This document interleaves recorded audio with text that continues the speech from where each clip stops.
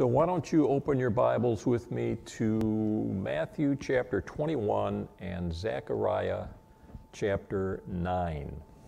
Matthew 21 and Zechariah 9. This is part four in our series on Bible prophecy related to the life and ministry of Jesus of Nazareth.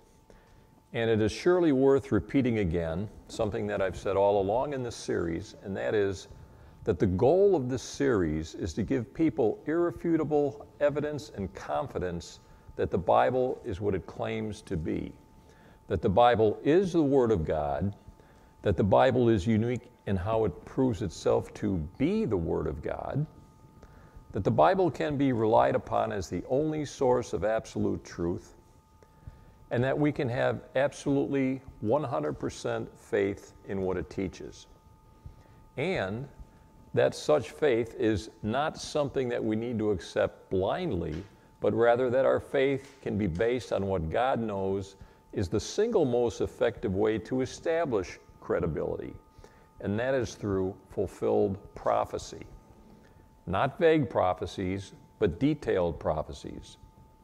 Not prophecies which prove to be accurate some of the time or even most of the time, but every time, 100% of the time.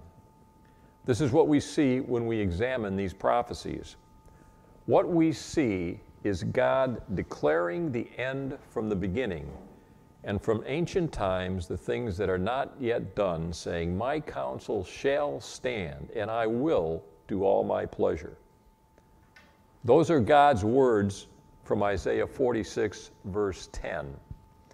You could paraphrase those words like this God is saying, I'm telling you everything I'm going to do long before I do it, and I'm going to do everything I said I'm going to do.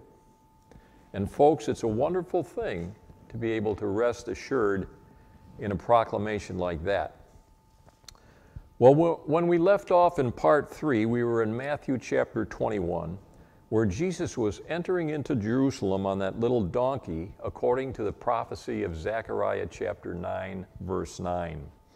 So let's go back there to Matthew 21 and continue looking at the marvelous events associated with this last week in the life of Jesus. So, Matthew chapter 21, and beginning in verse 1. And when they drew nigh unto Jerusalem and were come to Bethphage under the Mount of Olives, then sent Jesus two disciples, saying unto them, Go into the village over against you, and straightway ye shall find an ass tied, and a colt with her. Loose them and bring them unto me. And if any man say aught unto you, ye shall say, The Lord hath need of them, and straightway he will send them. All this was done that it might be fulfilled which was spoken by the prophet, saying, Tell ye the daughter of Zion, Behold, thy king cometh unto thee, meek and sitting upon an ass, and a colt, the foal of an ass. Now, as we noted last time, this prophecy in verse 5 is from Zechariah chapter 9, verse 9. So let's go there and take a look at the actual prophecy. Zechariah chapter 9 and verse 9, which reads Rejoice greatly, O daughter of Zion. Shout, O daughter of Jerusalem. Behold, thy king cometh unto thee. He is just and having salvation, lowly and riding upon an ass, and upon a colt, the foal of an ass. Lowly, this is his meek and lowly first coming. Now, you might recall that last time I called your attention to the fact that here in verse 9, we have one of the four great behold proclamations in the Old Testament prophets. These behold proclamations are literally prophecies pointing out the nature and the person of the Lord Jesus Christ at his first coming. Notice that this proclamation says, Behold, thy king cometh unto thee. Now, it is quite appropriate that we find this prophetic reference to Israel's king in Matthew's gospel account, because as we have discussed earlier in this series, it is Matthew's gospel account that emphasizes the Messiah as Israel's king. And you might recall that when we examined the two genealogical accounts in Matthew and Luke, that the genealogical account in Matthew also emphasized the role of Israel's Messiah as Israel's king. The focus of Matthew's gospel account is on the king and his kingdom. We also saw that in Luke's account, the genealogy went all the way back to Adam, back to Adam, the first man, because the focus of the Gospel of Luke is on the presentation of the Messiah as the perfect man in his humanity. So in Luke's Gospel account, we get to see these unique and very often touching personal looks into the human nature of Jesus. And we'll see some of that as we go on with this study. Now, if you were to turn back to Zechariah chapter 6 and verse 12, look at what you find there. It's another behold proclamation.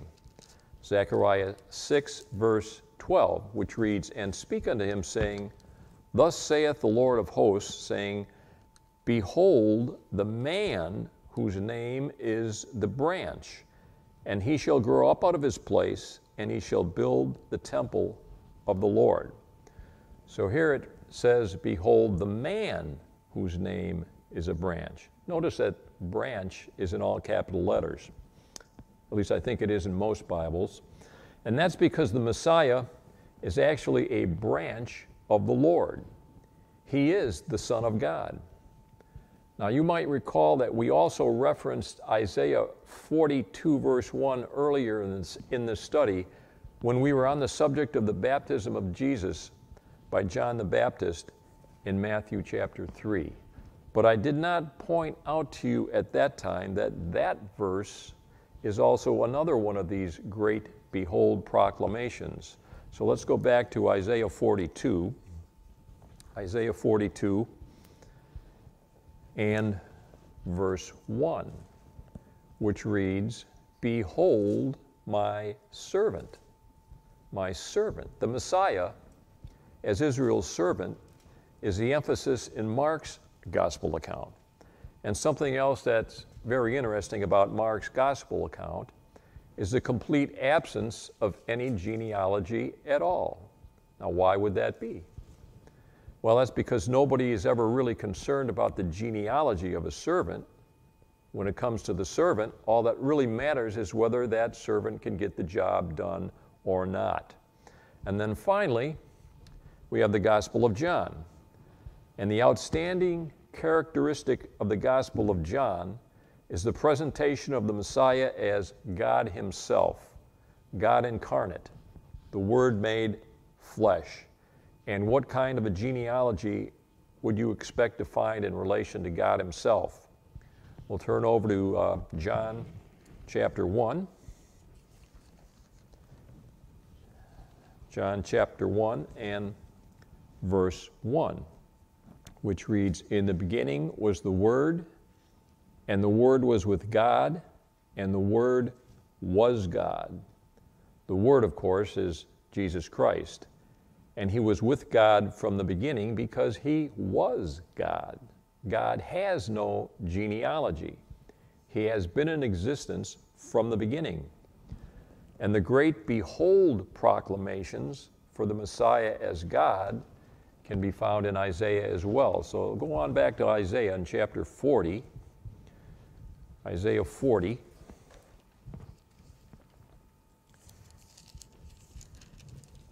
And verses 9 and 10. Isaiah 40, verse 9. O Zion, that bringest good tidings, get thee up into the high mountain. O Jerusalem, that bringest good tidings, lift up thy voice with strength, lift it up be not afraid. Say unto the cities of Judah, Behold your God. Behold, the Lord God will come with strong hand, and his arm shall rule for him. Behold, his reward is with him, and his work before him. So, verse 9 starts off by saying, O Zion that brings good tidings. O Jerusalem, that brings good tidings, behold thy God. Well, these words are clearly reminiscent of those which we see in Matthew 21, associated with the entry of Jesus into Jerusalem on that donkey at his first coming. So when you consider the Behold proclamation and the description of the entry into Jerusalem in Matthew 21, you can see how that this Behold proclamation just fits right in with the context there. But notice that you see here in Isaiah 40 the Behold proclamation again in verse 10. But what is different about it there? Let's look at the verse again. Behold, the Lord God will come with strong hand, and his arm shall rule for him. Behold, his reward is with him, and his work before him. Well, this is a second coming proclamation. Again, you have the differences between the meek and lowly first coming and his coming with power and great glory, as we've read in Revelation chapter 19, verse 11 and following. So, just to summarize all this, we have these four marvelous behold proclamations in the prophetic scriptures, which paint a picture of Israel's coming Messiah as Israel's king in Matthew's account as Israel's servant in Mark's account, as the perfect man in his humanity in Luke's account, and as God Himself in John's account. All part of the prophetic scriptures to help Israel recognize their Messiah when he arrives and describing the four different aspects of the person and work of the Lord Jesus Christ. Let's go back to Matthew 21 pick up where we left off there. Matthew 21 and verse 4.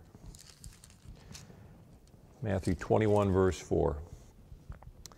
We're going to repeat these verses again. All this was done that it might be fulfilled, which was spoken by the prophet, saying, Tell ye the daughter of Zion, Behold, thy king cometh unto thee, meek and sitting upon an ass, and a colt the foal of an ass. And so you have this great prophecy from Zechariah 9, verse 9, pertaining to Israel's coming Messiah being fulfilled here. Then we immediately come to the fulfillment of another great prophetic passage as we read on in verse 6. And the disciples went and did as Jesus commanded, and brought the ass and the colt, and put on them their clothes, and they said him, they said, Jesus thereon. And a great, very great multitude spread their garments in the way. Others cut down branches from the trees and strawed them in the way. And the multitudes that went before and that followed cried, saying, Hosanna to the Son of David, blessed is he that cometh in the name of the Lord, Hosanna in the highest. And of course, this is this is that day that uh, mo- most of Christianity celebrates as Palm Sunday, the Palm Sunday week. Now, this prophecy also is coming from Psalm 118, which is an extremely, extremely important psalm in the scriptures. So let's go back and look at Psalm 118. We'll be coming back here at least two more times in this study, I believe.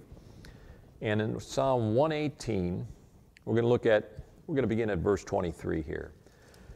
This is the Lord's doing. It is marvelous in our eyes. This is the day which the Lord hath made. We will rejoice and be glad in it. Save now, I beseech thee, O Lord. O Lord, I beseech thee, send now prosperity. What is prosperity? That's the kingdom. Send the kingdom. They're asking for the kingdom. Blessed is he, verse 26, blessed is he that cometh in the name of the Lord. We have blessed you out of the house of the Lord. So, verse 26 says, Blessed is he that cometh in the name of the Lord, just as the multitudes were crying out in Matthew 21, verse 9. But notice what the prophecy says in verse 24. Let's read that verse again. It says, This is the day, the day which the Lord hath made. We will rejoice and be glad in it. The verse says, This is the day. This was not just another day in the life and history of the nation Israel. This was the day which those true believers in Israel had been waiting for for 483 years. And we'll look into that as we proceed on in, in, in, this study. This entry into Jerusalem is an event which is recorded in all four gospel accounts.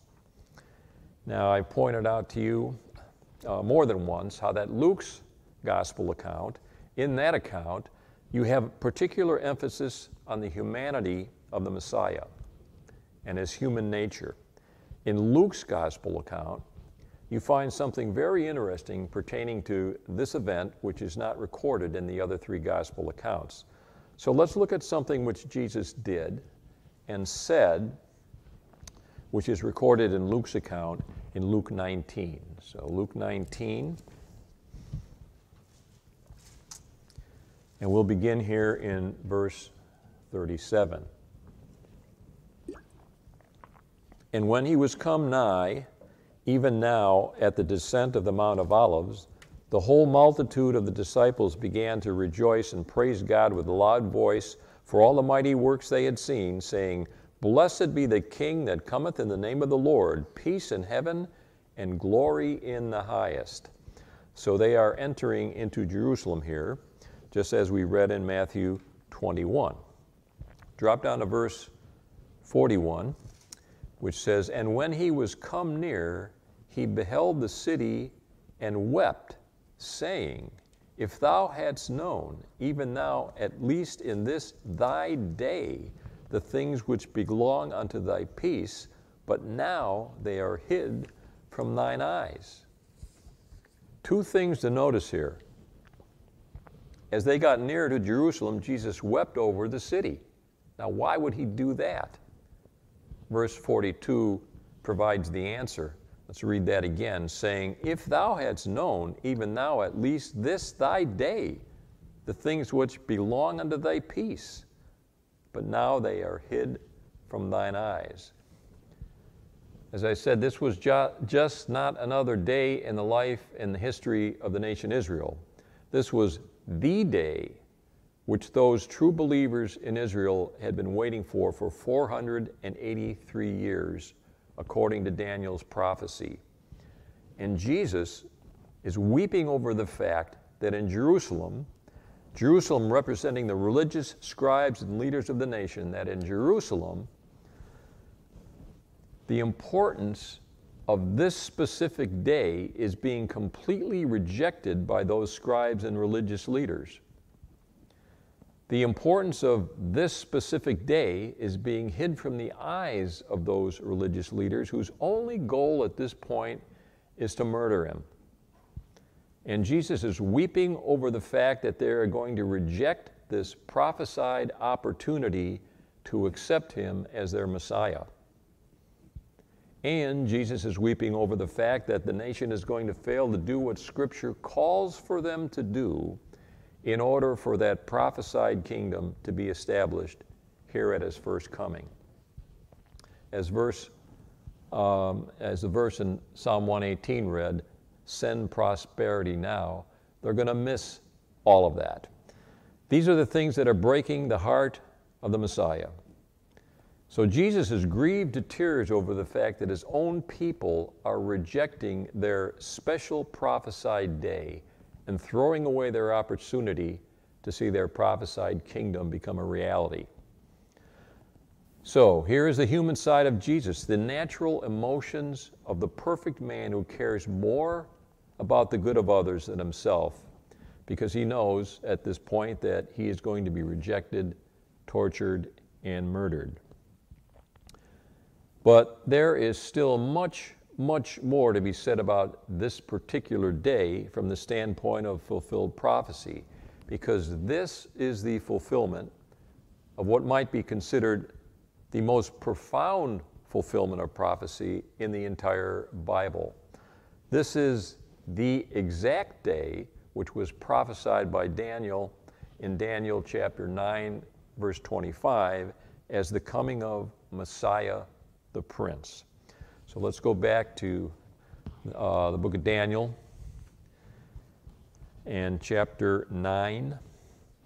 Daniel chapter 9 is unquestionably one of the most, if not the most important prophetic book in all the Bible. Because in Daniel chapter 9, God gives Daniel a timetable which lays out when all prophecy pertaining to Israel's program will be completed and when Israel's prophetic kingdom program will become a reality.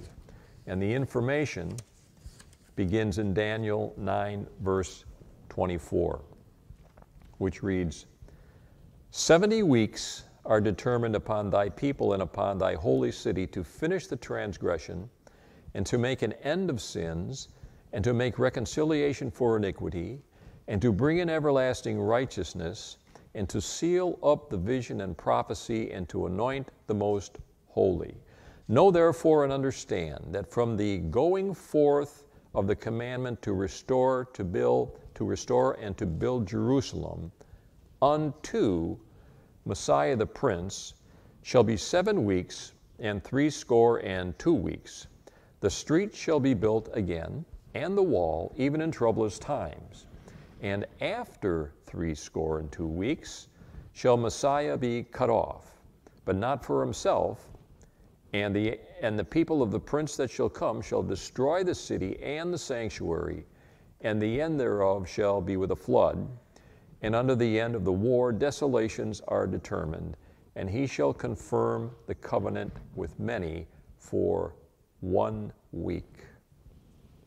Okay, so the prophecy begins in verse 24 with 70 weeks.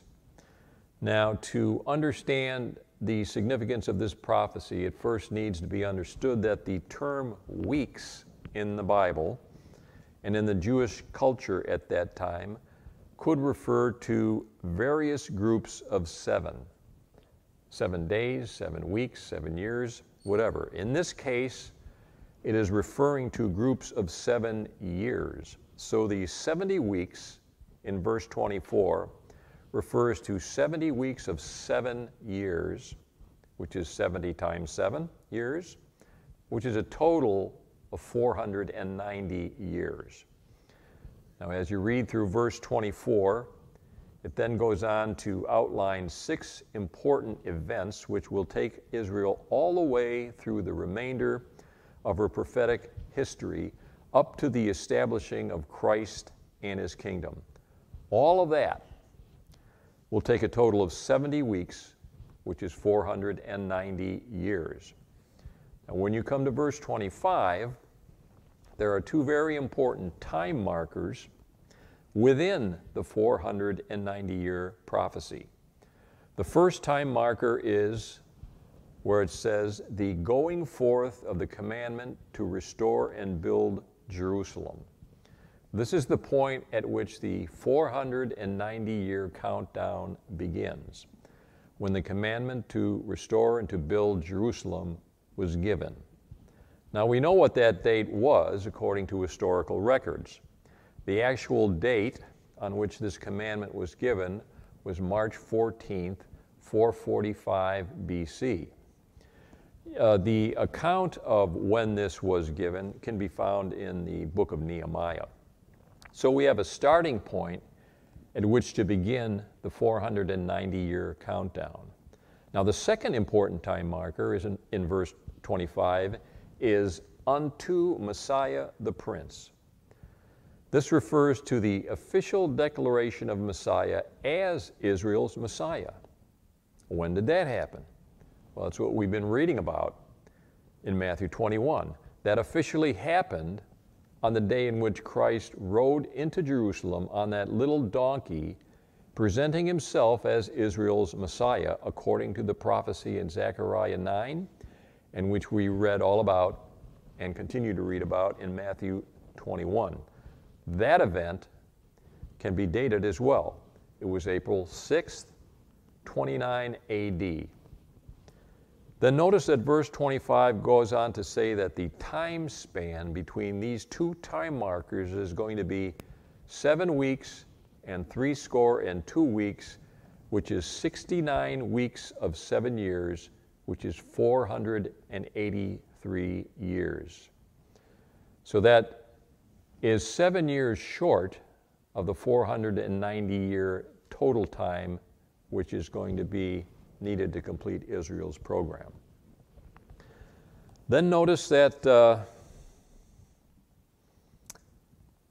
well, uh, I want to say that the, uh, that very day, the very day, the exact day on which Israel's prophesied Messiah would be presenting himself as Israel's Messiah was prophesied 483 years, 83 years before the actual event did occur.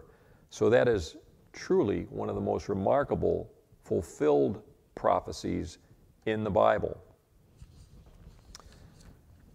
And that is why Jesus referred to it as thy day, as we read in Luke's account.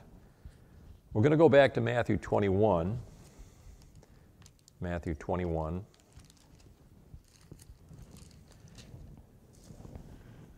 And pick up where we left off there. As we continue on in Matthew 21, we, we come to the fulfillment of yet another important prophecy. Verse 10. And when he was coming to Jerusalem, all the city was moved, saying, Who is this? And the multitude said, This is Jesus, the prophet of Nazareth of Galilee. And Jesus went into the temple of God and cast out all them that sold and bought in the temple, and overthrew the tables of the money changers and the seats of them that sold doves, and said unto them, It is written, My house shall be called the house of prayer, but ye have made it a den of thieves. All right.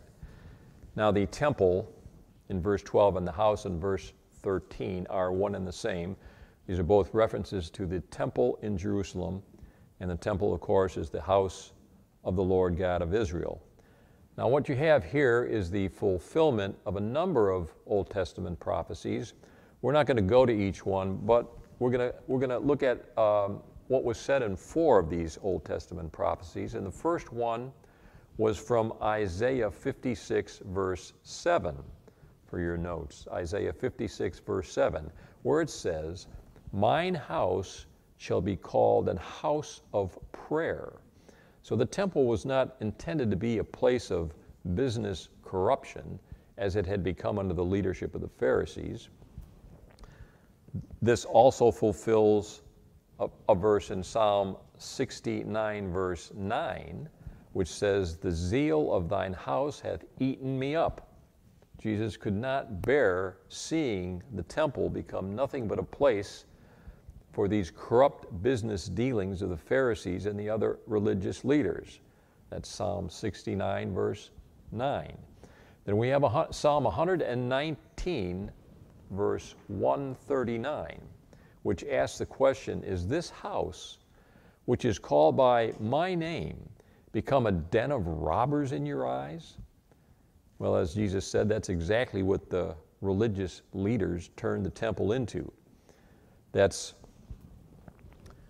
uh, Psalm 119, 139. And finally, Jeremiah 7, verse 11. Um, we've already done that one. Um, we, we covered that. Uh, is this house, which is called by my name, become a den of robbers in your eyes? And that's exactly what the re- religious leaders had turned the temple into. And so we see Jesus going in and casting out the corruption which the religious leaders of the nation had allowed to take place routinely in the temple, thus fulfilling those, at, those four Old Testament prophecies, and I'm sure we could find a number more that it fulfilled as well.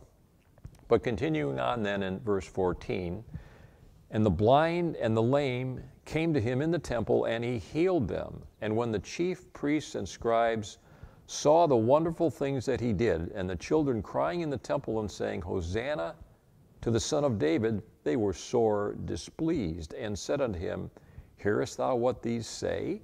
And Jesus say unto them, Yea. Have ye never read, Out of the mouth of babes and sucklings thou hast perfected praise?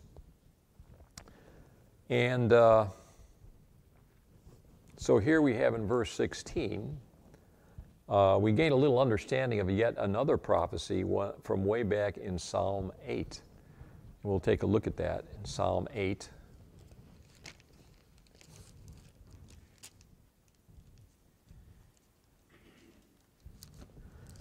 Psalm 8, and uh, we'll do verse 1. O Lord, how Lord, how excellent is thy name in all the earth, who has set thy glory above the heavens.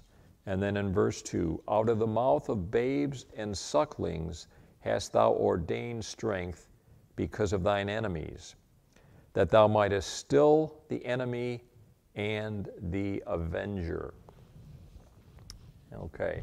Out of the mouths of babes and sucklings. This is exactly what Jesus quoted to them in Matthew 21 16. The little children who saw Jesus performing all those healings in the temple had more sense and a better understanding of the significance of what they were witnessing than the religious leaders of the nation did.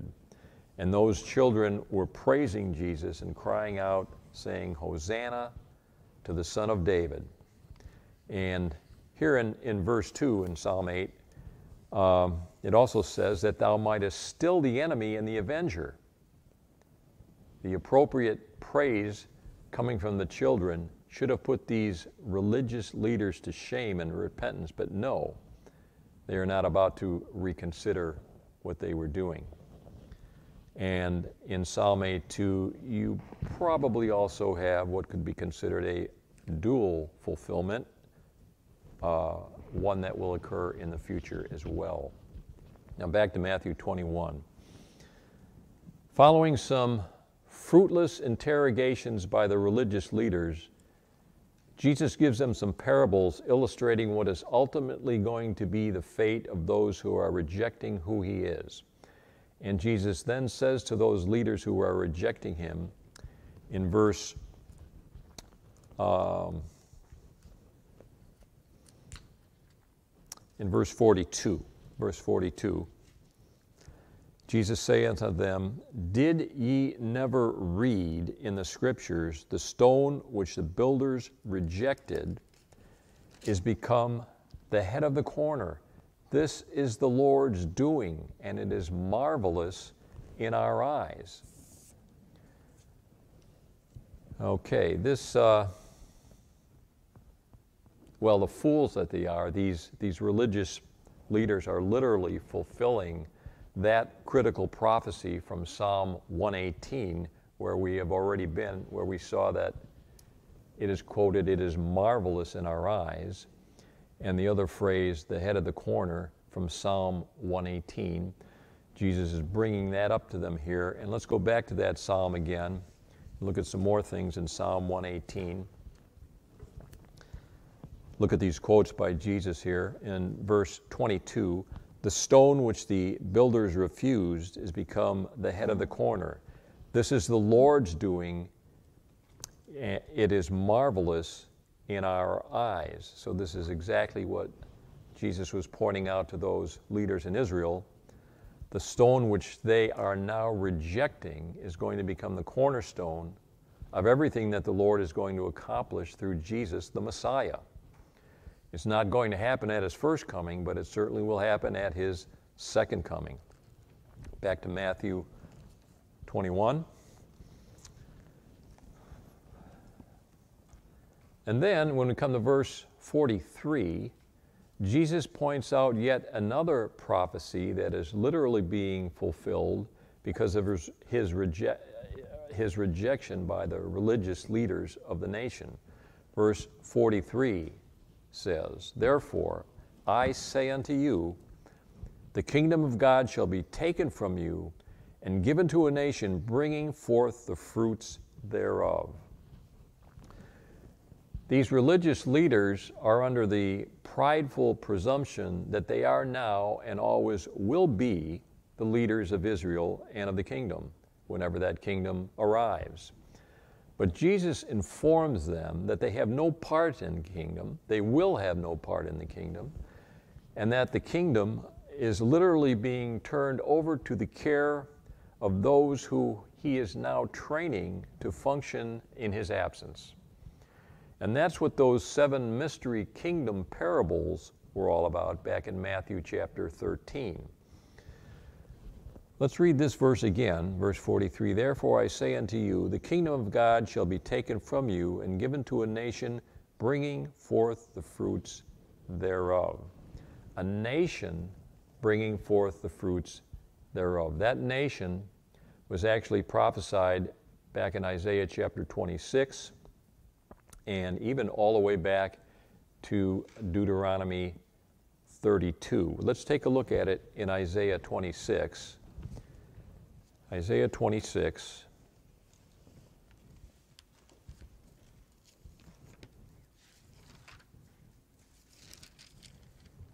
And we're going to look at verses uh, 1 and 2. Isaiah 26, verse 1 In that day shall this song be sung in the land of Judah. We have a strong city. Salvation will God appoint for walls and bulwarks. So this is a kingdom passage here. Verse 2 says, Open ye the gates, that the righteous nation which keepeth the truth may enter in. This is the righteous nation which will be entering through the gates of the kingdom. These are the followers that Jesus is calling out and who he will be training to function in his absence. And these followers also have another very special and meaningful name in the Bible. Jesus refers to them as the little flock. Let's uh, go over to Luke chapter 12 for a moment. Luke 12. And see what Jesus has to say about this little flock. In chapter 12, verse 32, he says to them, Fear not, little flock, for it is your Father's good pleasure to give you the kingdom. To give you the kingdom. All of this is another example of an event which took place back in Israel's history, which will turn out to be prophetic of something which is going to take place again in Israel's future. It's kind of like that verse that we looked at in Matthew 2:15 back in part 1 where the prophet wrote out of Egypt have I called my son. We saw how that had a dual fulfillment. Um, God refers to Egypt as his son in Exodus, and he called them out of Egypt. But then again, after the birth of Jesus and Herod's attempt to kill all those children, age two and under, the uh, Jesus and his family fled to Egypt for a while, and he called him back out of Egypt after Herod had died. So this is another verse like that, which we'll see in Deuteronomy 32. So let's go back there, Deuteronomy 32, and see how all this ties in together. Deuteronomy 32 is one of the most remarkable sections of prophecy in the Bible. It was given by Moses shortly before the nation of Israel was ready to enter in and take possession of the land of Canaan, which the Lord had promised to Israel as part of the Abrahamic covenant. Deuteronomy 32 is one of the songs of Moses, which Moses, eh, where Moses prophesies about the things which are going to happen with Israel things which are going to prevent the nation from successfully establishing that permanent and never ending kingdom which was promised to King David as part of the Davidic covenant. In short, the kings and religious leaders of the nation are going to forsake the laws and commandments of the Lord. That's what they did back then. Just as the religious leaders are going going to do during the earthly ministry of Jesus, as we see in Matthew. So we're going to pick this up in Deuteronomy 32 at verse 17. They sacrificed unto devils, not to God, to gods whom they knew not, to new gods that came newly up, whom your fathers feared not. So, this is what kept Israel from successfully establishing the prophesied kingdom in the days of the Old Testament. They didn't believe God, they turned away from God. Verse 18 Of the rock that begat thee, thou art unmindful, and hast forgotten God that formed thee. And when God saw it, he abhorred them because of the provoking of his sons and of his daughters. And and he said, I will hide my face from them. I will see what their end shall be, for they are a very froward generation, children in, who, in whom is no faith. They have moved me to jealousy with that which is not God. They have provoked me to anger with their vanities. So there's God's response to what they had done. And I stop here because everything we have read up to this point in verse 21 is a perfect description of how the religious leaders in, Old Te- in Israel's Old Testament history basically destroyed the nation. And we see the Lord's reaction to their conduct there. But as the verse continues, we have this remarkable phraseology, which is so applicable to what Jesus said to the religious leaders of his day in Matthew 21, verse 43, where he said, The kingdom of God shall be taken from you and given to a nation, nation bringing forth the fruits thereof. So as we finish up this verse 21 here in Deuteronomy 32, it says, I will move them to jealousy with those who are not a people.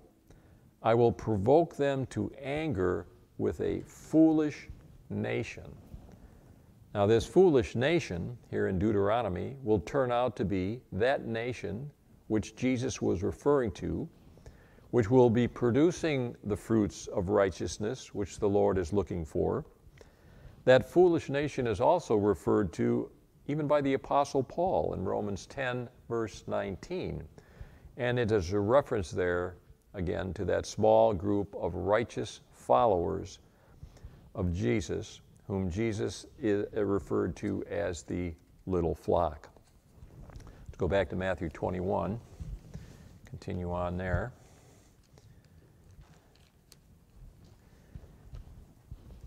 So the chapter ends with yet another prophecy which is ultimately going to be fulfilled at the second coming of Christ. And that's in verse 44, where it says, And whosoever shall fall on this stone shall be broken, but on whomsoever it shall fall, it will grind him to powder.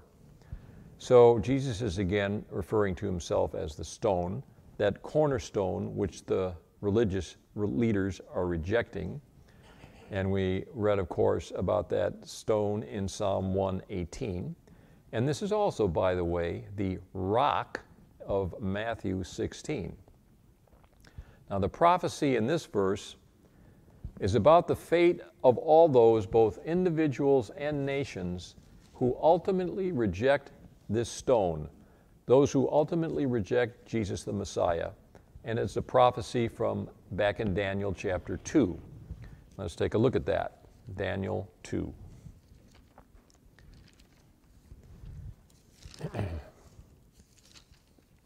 now, we're going to look at uh, verses 44 and 45. And in the days of these kings shall the God of heaven set up a kingdom which shall never be destroyed, and the kingdom shall not be left to other people, but it shall break in pieces and consume all these kingdoms, and it shall stand forever. For as much as thou sawest that the stone, that is Christ again, was cut out of the mountain without hands, and that it break in pieces the iron, the brass, the clay, the silver, and the gold, the great God hath made known to the king what shall come to pass hereafter. And the dream is certain, and the interpretation thereof sure. Now, for those of our listeners who are not familiar with this very profound section of prophetic scripture, this is part of Daniel's interpretation of the troubling dream which King Nebuchadnezzar had during the Babylonian captivity of the nation Israel. The stone in verse 45, as I said, is Christ at his second coming, when he comes to establish his never ending kingdom, which will rule the earth.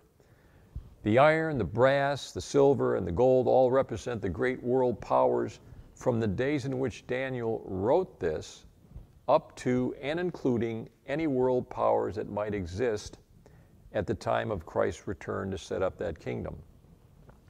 And in Matthew 21, verse 44, Christ's warning was to anyone or any nation that attempts to interfere with his kingdom, he will simply grind them to powder.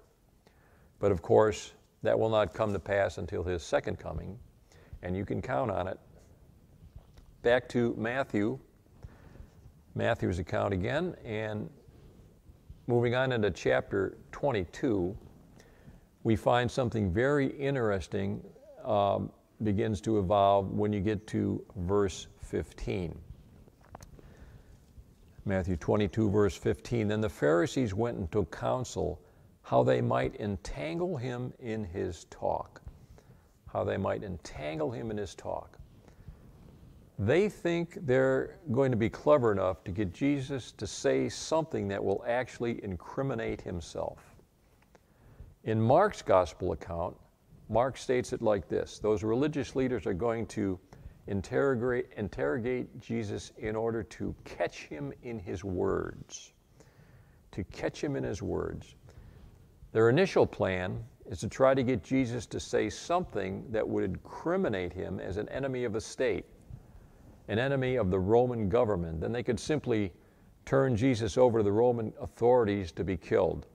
That would be the easiest way to dispose of him. So what do they do? Verse 16. And they send out unto him their disciples with the Herodians, saying, Master, we know that thou art true, and teachest the way of God in truth. Neither carest thou for any man, for thou regardest not the person of men. So both the Pharisees and the Herodians are two political parties, so to speak, within the religious leaders of the nation. They usually don't agree with one another on anything, but all the religious leaders and parties readily come together on this one, on this plan to get rid of Jesus. They know they've got to get rid of him. Continue on in verse 17. Tell us, therefore, what thinkest thou? Is it lawful to give tribute to Caesar or not? But Jesus perceived their wickedness and said, Why tempt ye me, ye hypocrites? Show me the tribute money. And they brought unto him a penny. And he, and they, and, and he saith unto them, Whose is this image and superscription? And they say unto him, Caesar's. Then saith he unto them, Render therefore unto Caesar the things which are Caesar's, and unto God the things that are God's. When they heard these words, they marveled and left him and went their way. So there's nothing in this response from Jesus that would incriminate him as an enemy of Rome. So it's strike one against the religious leaders. Now, we're not going to go through all these questions from the religious leaders, but uh, you might want to make note of the other parallel passages of these interrogations. They are in Mark chapter 12, verses 13 to 34, and in Luke chapter 20, verses 19 through 40. And as you read through this and those passages, you, you see another political party by the name of the Sadducees and various chief priests and scribes coming with their questions as well. They're all taking their shots at Jesus. And what they come up with is nothing, absolutely nothing. All the answers from Jesus are perfect and flawless. Not only that, but Jesus follows up their interrogations of him with a few questions for them, which they cannot answer without incriminating themselves. And the whole interrogation process ends up with these words in chapter 22, verse uh, 46, which, say, which says, And no man was able to answer him a word, neither durst any man from that day forth ask him any more questions. Okay. But something that you don't want to miss about this whole process of interrogation is something which is profoundly important prophetically. What you have with all this interrogation is actually the prophetic fulfillment of something extremely important having to do with the Passover feast, specifically the Passover lamb. Because Jesus is the literal fulfillment of what that Passover lamb has been representing for over 1,500 years since the first Passover was established before the nation was delivered from Egypt during the Exodus. Jesus is the fulfillment of the Passover lamb. Jesus is the literal Passover lamb.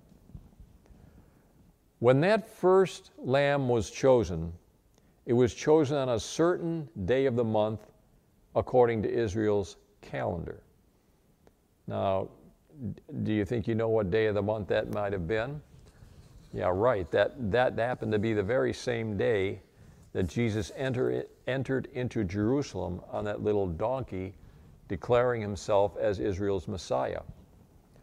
And just as Israel was instructed to do back then, in Exodus chapter 12, verses 3 through 6, when that first lamb was chosen over 1,500 years ago, that lamb was not supposed to be killed for the Passover meal right away, but it was supposed to be held for three days and closely inspected to be sure that a perfect lamb without blemish had been chosen. It had to be a perfect lamb. And all these interrogations by these conniving religious leaders of the nation come to prove that Jesus is perfect, flawless, and without blemish, because Jesus is the fulfillment of the Passover lamb. Jesus is the literal Passover lamb. Back to Matthew's gospel again. Uh, when you come to Matthew chapter 23, you have this scathing indictment by Jesus, this indictment against the religious leaders in Israel, those who are seeking to kill him. As Jesus points out all the evil and hypocrisy which they had introduced into the nation. When you come to Matthew chapter 24, you come to future prophecy, knowing full well that the kingdom is not going to be a reality at this his first coming. Jesus lays out a chronological outline of the events which will take place in the future when God resumes his program for the nation Israel after the rapture of the present day church, of which we are a part.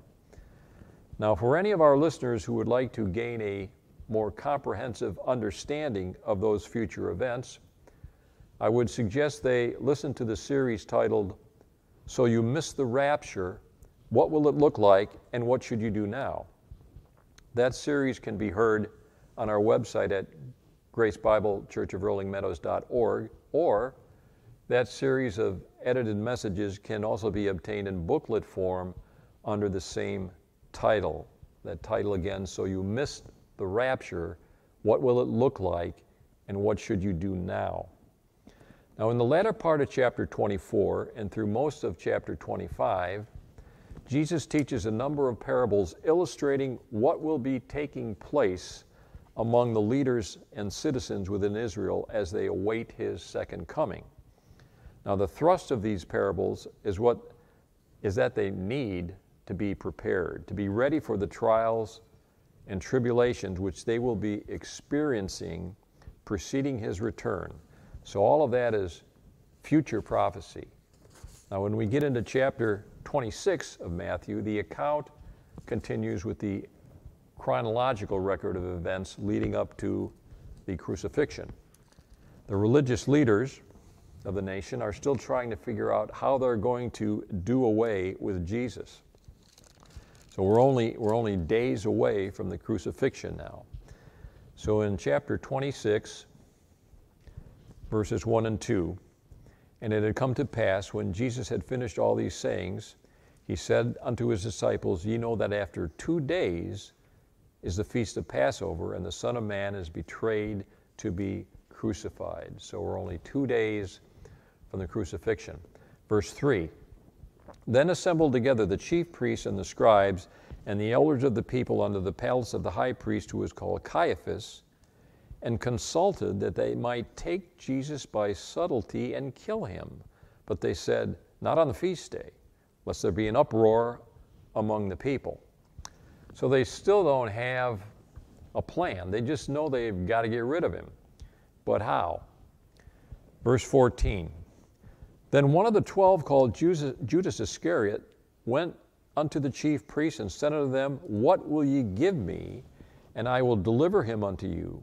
And they covenanted, covenanted with him for thirty pieces of silver. And from that time he sought opportunity to betray him.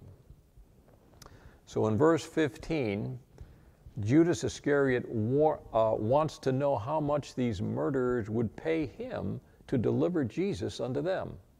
And they agree to pay him 30 pieces of silver in fulfillment of another prophecy from Zechariah chapter 11. Let's take a look at that. Zechariah chapter 11. And it's verse 12, Zechariah 11, 12. And I said unto them, If ye think good, give me my price, and if not, forbear. So they weighed for my price 30 pieces of silver. 30 pieces of silver. So here is the prophecy of the price the religious leaders will be paying to have Judas Iscariot betray and deliver Jesus into their hands. Now, as we continue on in Matthew 26, we come to a relatively brief account of the Passover meal which the disciples had prepared for themselves and Jesus. This is what is commonly referred to as the upper room discourse.